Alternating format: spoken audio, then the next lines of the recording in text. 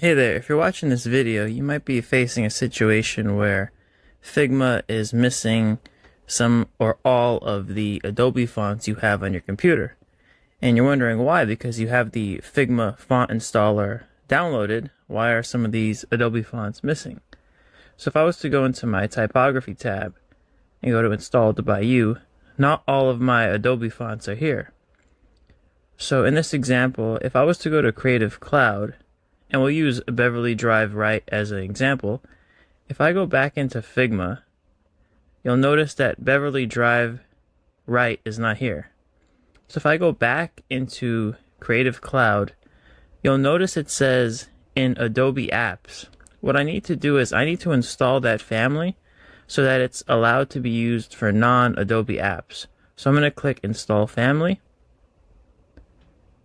It got it and it's going to install that font.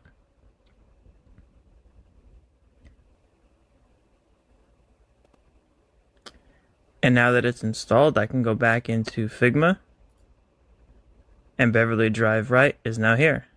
So there you go. Hope this helps with your projects. See you next time.